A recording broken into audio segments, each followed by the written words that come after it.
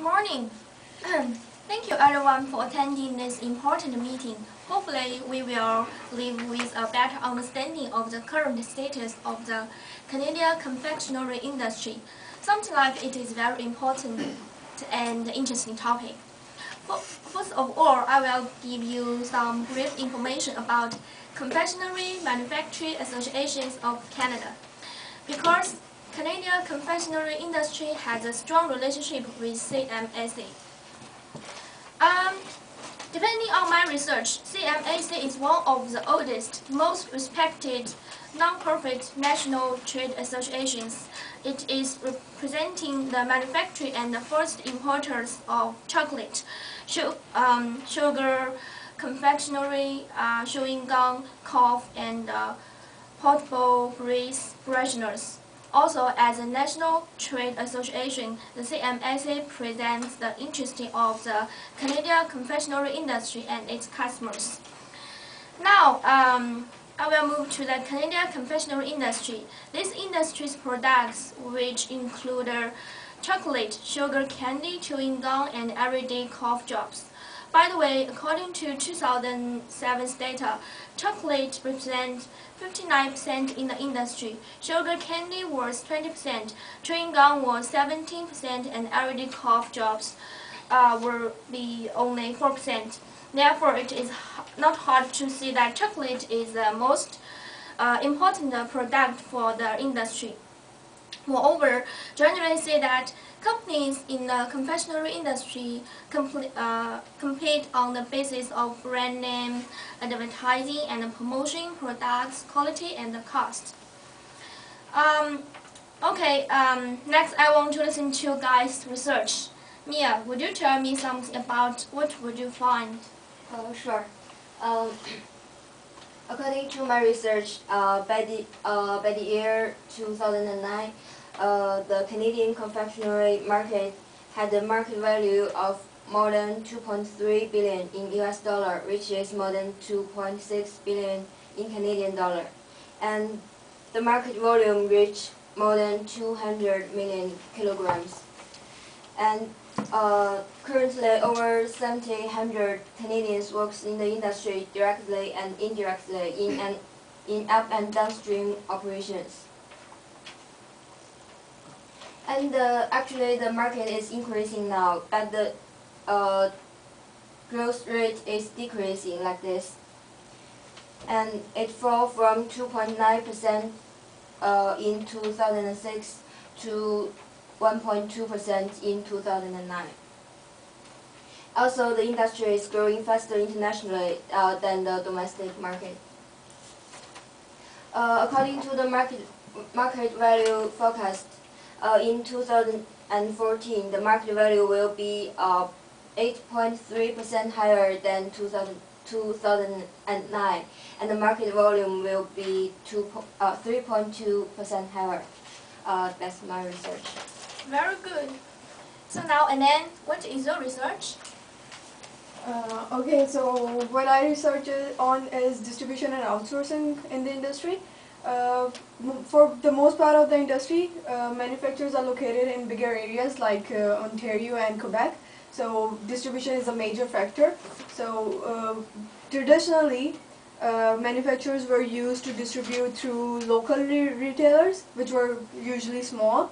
But because of the consolidation now, market industry of industry is now dominated by big grocery stores like Sobeys and Loblaws. So they and they prefer to buy through national suppliers, and it has a major effect on small and medium uh, manufacturing of uh, confectionaries. Uh, the next thing I will I researched on is outsourcing.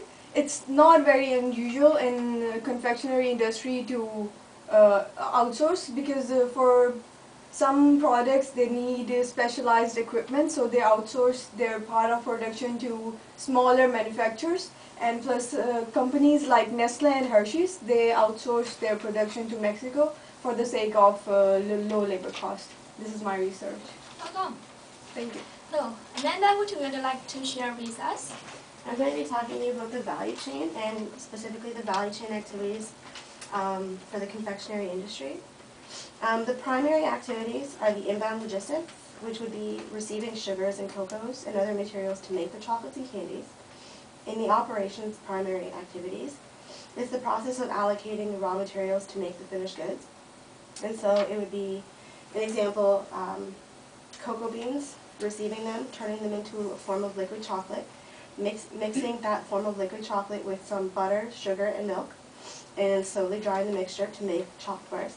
Marketing and sales would be TV ads, promotions in retail stores, and competing on price.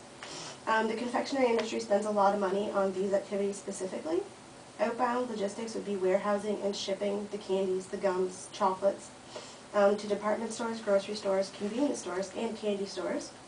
And then there are support activities such as infrastructure of the firm. Um, this would be this would be a, a, company who is committed to free trade and other um, social programs. Human resource management, the training required for new employees to know how to do their jobs properly. Technology development in the in this industry would be artificial and natural sweeteners systems in which are constantly being developed to be better. Procurement, which is purchasing the cocoa and the sugars to create the chocolates and other confections. And that was my research. Great. How about you, Xiaoyi? Mm -hmm. I'm going to talk about the factors that affect the Canadian confectionery industry. The traditional Canadian confectionery industry has several advantages, even though it has the disadvantage of the small size comparing to American and European uh, industries. However, Canadian industry has cheaper suppliers, lower benefits and labor costs, and weak Canadian dollar. These advantages attract the uh, companies to invest in and grow the industry. Currently, um, the, the rising fuel price increase the price of commodities and uh, the rising price and the, both the rising price and the commodity price affect Canadian companies to exporting. They are losing money and some of them start to close down their plants or even stop their business. For example, Hershey closed the plants in Dartmouth, Smithsboro and Montreal due to the increasing cost, decreasing capacity and lack of competitiveness and global regionalize. Over 1,200 employees was affected. That's my research. Great. Now Stephanie, it's your turn. I'm going to tell you about the rising Canadian dollar and its effect on the industry. At first glance, it seems that the rising Canadian dollar would seem like a good thing for the Canadian economy. Um, it's actually good for importers and bad for exporters. Um, this is a big problem for Canadian companies who rely heavily on exports because their products become less competitive in price-wise in the U.S. market. Companies cannot really raise their prices because we need to stay competitive against U.S. companies, so unless the gross profit margin is extremely high, which it isn't in this industry, um, they will actually lose money. Ganong's average gross profit margin for their products is 30.7%. Um, confectionery companies who do not export face competition from cheaper exports. Canadian dollar, the Canadian dollar has not only risen against the U.S. economy, but also much of the world economy. One option would be to purchase more efficient um, manufacturing technologies from U.S. suppliers, but this might be an issue for confectionery companies who don't have enough capital to do so.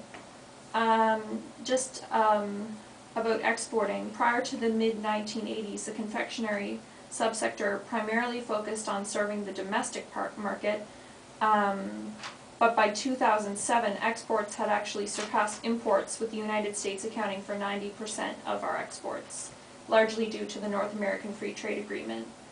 Um, the Canadian confectionery industry purchases the raw materials on the world market, whereas the U.S. companies have to deal with strict regulations, so the rising Canadian dollar could be an advantage to Canadian companies when it comes to purchasing raw materials. Hey, thank you. I'm actually very enjoying your guys' research, so everyone did a very good job. Thank you very much.